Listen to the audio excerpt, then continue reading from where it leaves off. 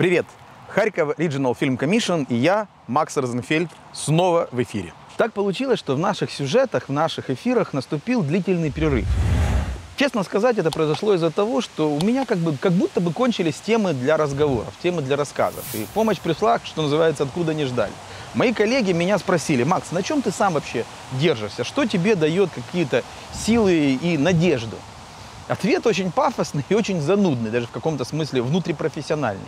На знании истории. Я уже не раз говорил, что моя уверенность в том, что все будет хорошо, это, например, дуб вот здесь рядом в саду Шевченко. Дуб, которому 500 лет, который пережил многое и многих. И менялись государства, проходили войны, революции, а дуб растет, каждую весну зеленеет, и каждое лето на нем вызревают желуди. Но если смотреть на эту историю шире, то это вообще вопрос восприятия истории. Восприятия истории как вот такими дискретными, отдельными, отрывистыми кусками или как единую такую реку времени, когда ты меняешь масштаб восприятия проблемы, когда ты понимаешь, что то, что происходит сейчас, происходило, например, 100-110 лет тому назад, и история это бесконечная, история это вечна. И это действительно, как это ни странно звучит, знание истории о том, что все было, есть и будет, и что все пройдет и пройдет, и это, оно очень сильно дает силы, по крайней мере, лично мне. Но дуб – это что-то неодушевленное. Ну, он, конечно, живой, но если можно рассказать вот о каком-то таком символическом дубе, но в виде людей, в виде целых поколений одной и той же фамилии, одного и того же рода, то эта история еще больше придает сил, зная эту историю, еще больше ты в это э, убеждаешься в том, что все будет хорошо.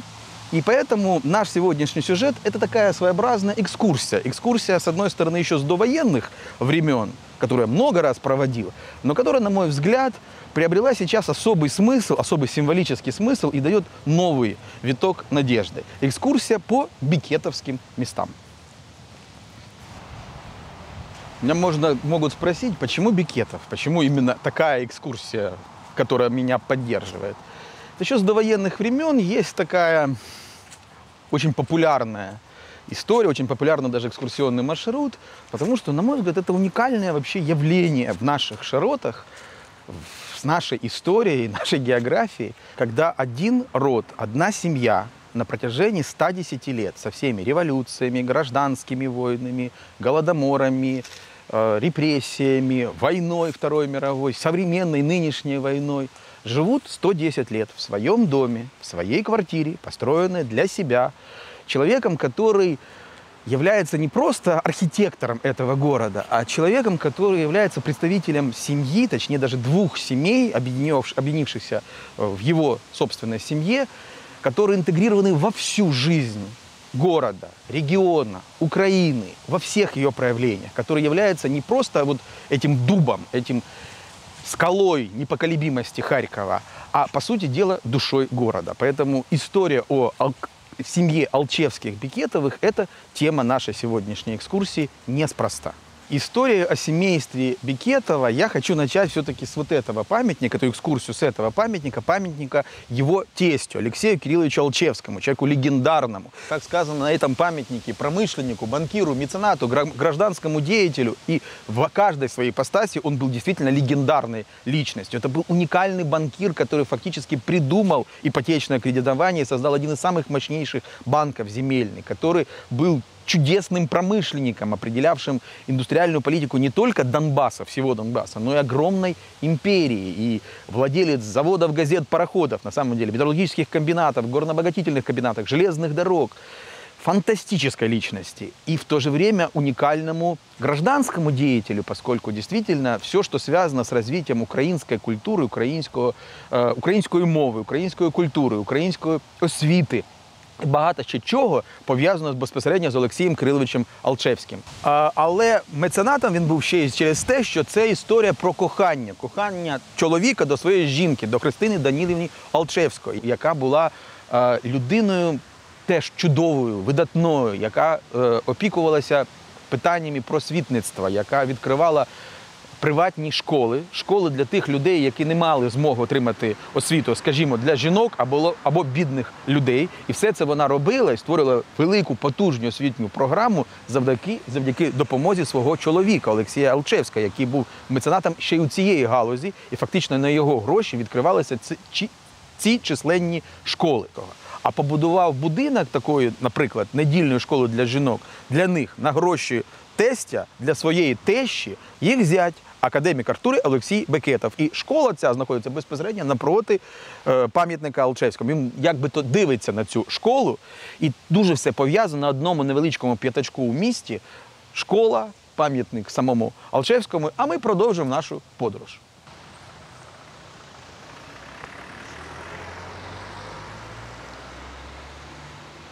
До речі, ще одна думка така мені зараз прийшла в голову, коли ми проходимо повз оцієї мармурової дошки, що тут була недільна школа Христини Алчевської для жінок з 1896 по 1919 рік. Думка про те, що ми дуже часто не вміємо читати ось ці символічні посилання у місті, наприклад, такі, як ця мармурова дошка, тому що за цим стоїть дуже велика історія. Історія про те, що вона не лише відкрила, скажімо, цю недільну школу. Це була людина, яка в галузі освіти зробила так багато, що в Парижі на всесвітньої виставці обрали її віце-президентом Всесвітньої лиги вчителів. А наступний будинок після цієї недільної школи це так само Бікетов, це його робота. Це не недільна школа. Ми цю будівлю знаємо всі як Харківський художній музей. Хоча будувався він як такий маєток, будинок, навіть палац для видатного відомого харківського пивовара, е, володаря великої пивовареної такої мануфактури Ігнатіщева. І цей величний палац це його був власний маєток. Зараз це тут знаходиться художній музей. Я б хотів, щоб ви подивилися на ці. Е, архітектурні елементи, деталі, які так само для мене, як то символ е, вічності, символ неперервності історичного процесу. Скажімо, наприклад, тут є дошка Фрітьофу Нансену, людина, яка створила спочатку Лігу націй, а після цього Ліга націй перетворилася у, у Організацію Об'єднаних Націй. І він був у цій будівлі е, в 20-му році, 100 років тому, е, коли Харків е, в Харкові була комісія з приводу голоду, з приводу безпритульних, безпризорних дітей. Нянцин опікувався цією проблемою. Це був такий громадський діяч, і це теж якби то на, на пам'ять нагадує нам про те, що історія продовжується. Що то, що було 100 років, воно продовжується і зараз, і не переривається ця вся історія. І ще одна думка з приводу цієї будівлі. Художній музей для мене так само стало під час війни нагадуванням про те, що, скажімо, війни вони тривають, але вони закінчуються. А картини, мистецтво, справжнє мистецтво, воно вічне. Вулиця Жон Мерносець такий безперервний бекетівський маршрут. І Доходить він до метро архітектора Бекетова, і один за одним йдуть бекетівські будівлі. Це безпосередньо колишній палац культури міліції, але це будинок Алчевських, і дійсно це маєток, який він Бекетов побудував для своєї тещі та тестя Алчевських. І це велика така садиба. Це їхня приватна власність, те, що побудував Бікетов, як будинок, маєток Алчевських. До речі, тут є така дуже Відома історія, що перший в світі пам'ятник Тарасу Григоровичу Шевченку на гроші мецената Алчевського, створений відомим скульптором Володимиром Беклемішевим, був встановлений Алчевським саме тут, на території маєтку Алчевських, і з цього почалася взагалі Шевченкініана в світі.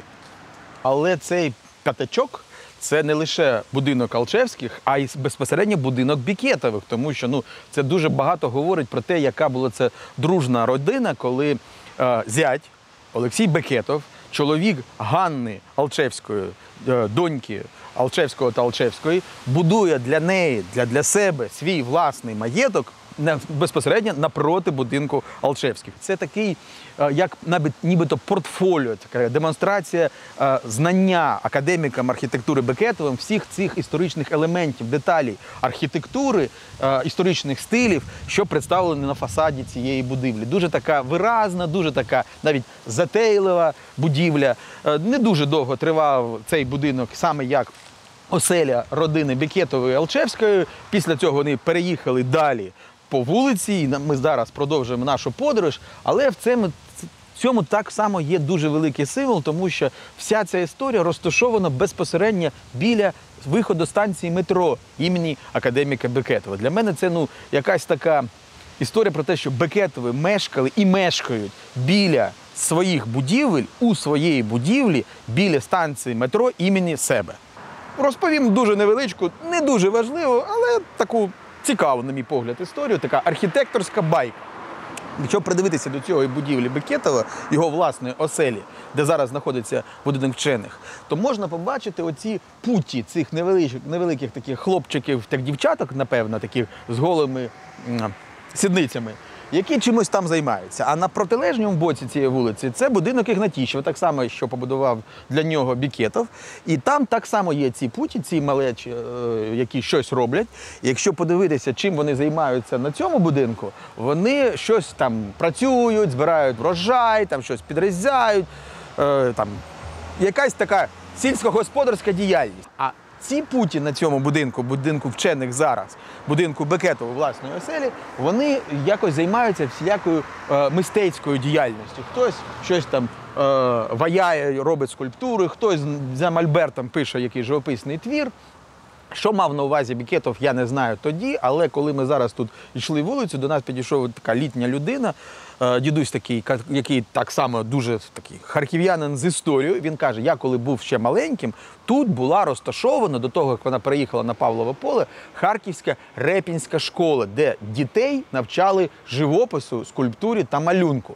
Мабуть, Бекетов щось таке знав, коли він на своїй власної селі розмістив ці е, фігури, що пройде там 60-70 років, і на його будинку, в йому його будинку буде створена репінська школа, де будуть діти займатися цією мистецькою діяльністю. А до речі, картина самого Репіна знаходиться через дорогу на в будинку художнього музею, де ці дітлахи займаються якоюсь сільськогосподарською діяльністю. Все дуже якось пов'язано в цієї історії.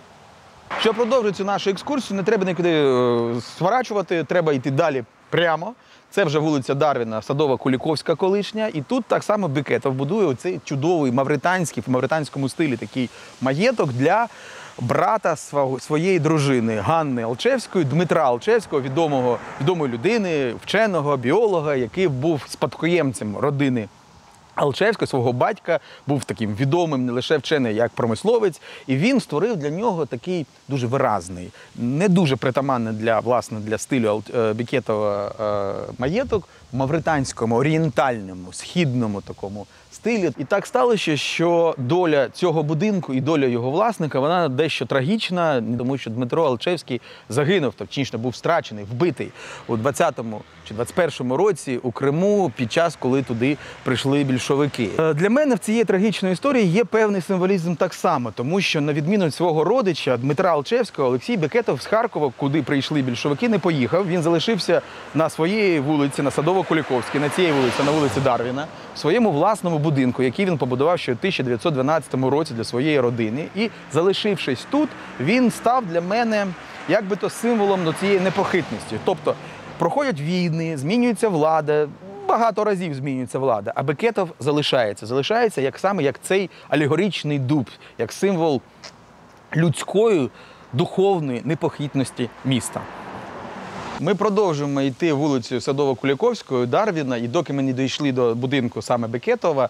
Тут є численні будинки, так само Бекетовим, побудовані для різних замовників, але не лише Бекетовим. Славна і красива ця вулиця, вулиця Дарвіна, тому що в неї дійсно є слава такою водночас і дуже харківською, дуже суто харківської вулиці і зовсім не харківської, тому що різні будинки, побудовані Пекетовим, Ржепешевським, Вілічко, іншими архітекторами на цій вулиці, вони склали таке дуже різнобарвне, дуже як лоскутне одіяло, таку дуже різну картину, еклектичну навіть картину, але дуже романтичної старовинної європейської вулиці, старовинного європейського міста. Вона виглядає навіть не як вулиця історична, а навіть така різдвяна листівка.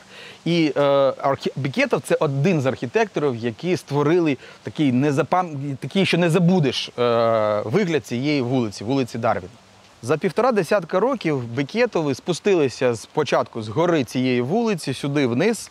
І тут, на цьому місці, ще у 1912 році Олексій Миколаївич побудував будинок для своєї родини, в'їхав в цей будинок, оселився на другому поверсі в своїй власній оселі, квартирі. І з цього часу, 110 років, Бікетови ніколи, нікуди не виїхали. Це не лише така дуже дивна для мене історія, що в будинку Бікетових, в квартирі Бікетових 110 років, попри всі війни, війни, війни, революції, всі негаразди, Бікетови мешкають. Мешкають вони там і зараз, у наш час. Для мене це ну, не лише символ непохитності, а символ вічності цієї історії. Але для мене в цієї цьому сюжеті є головна відповідь, для чого ми вам розповідали всю цю історію. Якщо б я хотів розказати вам про всіх Алчевських, всіх Бекетових, всі гілки цього роду, це багаточасовий, багато, на багато годин е, фільм. Такої мети в мене не було. Я спочатку сказав, що в мене спитали, на чому я тримаю, що мене підтримує зараз, у час війни.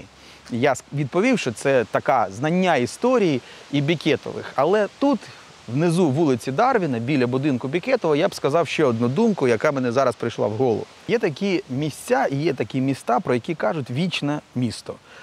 Це міста, в яких ти, коли опиняєшся, ти якби то відчуваєш, як йдуть римські легіони, як наступає наполеонівська, скажімо, армія, чи якісь там видатні або невидатні діячі 18-19 століття крокують цими вулицями. В тебе наступає таке, е, коли ти відчуваєш, як історія йде повз тебе. Е, Це, наприклад, Рим, Єрусалім або Стамбул, Константинополь. Це дійсно вічні міста. І хоча це може пролунати для когось дуже е, так, як Хвалько каже про своє власне місто, Харків я так само відчуваю вічним е, містом. Тому що дійсно я, наприклад, тут внизу вулиці Дарвіна, біля будинку Бекетова, відчуваю, як сторінки цієї книжки історії, вони одна за одною йдуть, і ти чуєш, як цією вулицею їде ще там якась телега, якісь там перші автівки проїжджають цією вулицею 20 роки 20-го сторіччя, як крокують тут, скажімо, е, солдати Вермахту, і як історія йде, а місце це залишається. Це для мене дійсно символ непохитності, символ того, що наша буденність це якась суєта, і вона пасує перед вічністю. Для мене це дійсно те, що на чому я тримаюся. І тому я хотів поділитися з вами своїм власним лікарством. Може, ви для комусь з вас воно так само буде корисним.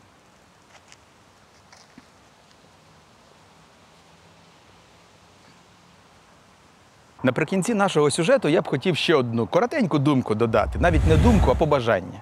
Дуже давно тут, на Сумській вулиці, перед будинком Харківського національного університету будівництва та архітектури, у цьому бронзовому кріслі з кресленням фасаду відомого Харківського інституту імені Мечнікова сидить академік Артури Олексій Миколаївич Бекетов. Сидить, підперши голову рукою і дивиться на Сумську вулицю, на університетський сад, на пам'ятник Шевченко напроти. Як би ти спостерігає за тим, як плине життя повз нього по вулиці Сумській. І побажання моє буде дуже коротеньким. Хай Бікетов тут сидіть вічно, і хай скоріше скінчиться війна.